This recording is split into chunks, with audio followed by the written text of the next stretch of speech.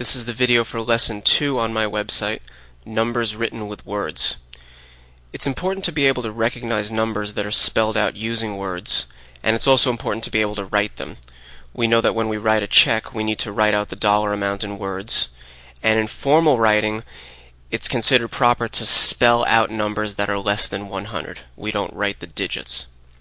If you look at lesson 2 on my website, you'll see a list of different numbers spelled out with words, and that can help you get an idea of how it works.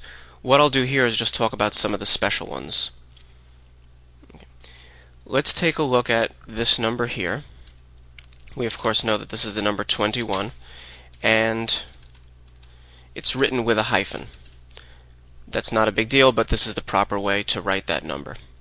Now let's take a look at this number. Many people would say that number as 101. That's actually not correct. We're not supposed to say the and.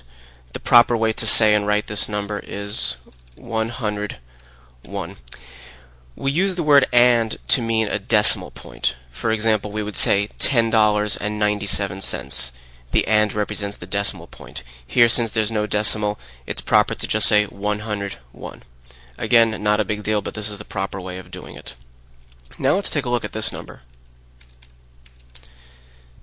Okay, that can be very hard to read, and what we do is we put a comma to the left of every three digits, and that helps us see the number more easily.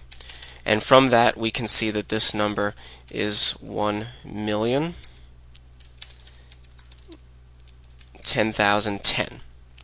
Okay, this is just a basic lesson about how to write out numbers in words. In later lessons, we'll learn much more about how numbers work.